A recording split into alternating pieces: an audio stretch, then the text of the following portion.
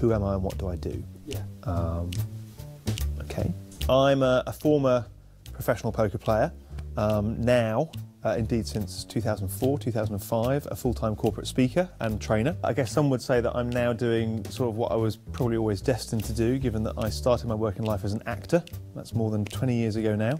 Um, I was in the very first two series of Geordie Teen Soap Byker Grove. And yes, before you ask, uh, I do know Anton and Dec. They were in the, the first two series with me. And this was a real baptism of fire, really, in the media world. Uh, bearing in mind, I was I was 16, and you know I couldn't leave my front door sometimes without being without being mobbed. I decided that really what I wanted to do was was uh, this guy's job was was be behind the camera, and what I wanted to do was uh, ideally direct feature films. So I knew that one tried and tested route into that position was uh, to sort of go via Oxbridge. Um, and at the age of 18, I got a place at Cambridge to read economics um, which I later changed to anthropology, largely because economics plus theatre equaled nervous breakdown.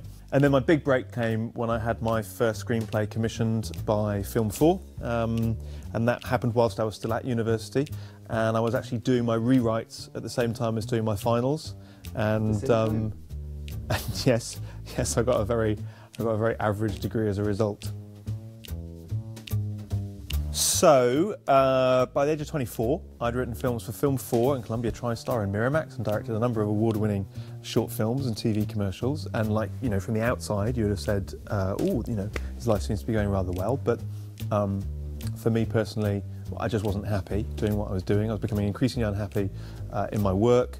Um, and the reasons for this are very long and boring, but essentially I just wasn't making the films that I wanted to make. I wasn't working with the people that I wanted to work with.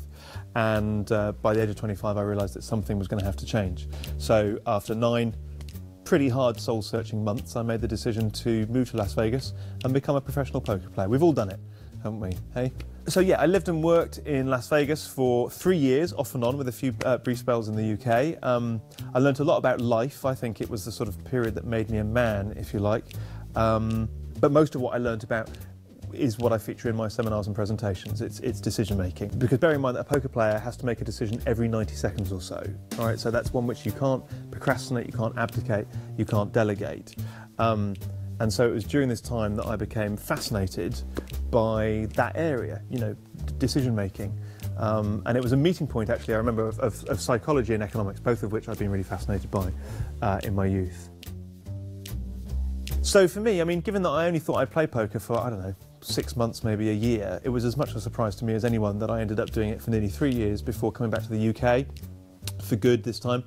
And uh, I knew that I wanted to embrace risk taking uh, at some point in my life in business. And for that reason, I set up my own video production company in, uh, in my native Newcastle upon Tyne.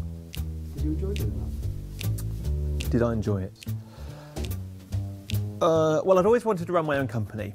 Uh, and so, whilst it was challenging, uh, we had a fair degree of success. Um, we ended up selling the company in the end to Bob Geldof media giant Ten Alps. And um, the main thing for me was it was whilst I was running this company that I was asked for the first time to, to, to give that talk about the relationship between um, poker and business. And every talk that I gave uh, seemed to lead to another one. Someone in the audience would ask me to do it for their business. And eventually I just got to the point where I thought, hang on, you know, this should sort of be my job, this should be my career. So in 2005, I, uh, I joined a training company because I sort of thought that I needed to learn how to do this properly. I joined a company called the Mind Gym, who are absolutely brilliant, and for whom I delivered, I think, nearly 400 sessions uh, for all manner of just brilliant blue chip clients Virgin, The Guardian, uh, ABN Amro, just fantastic people.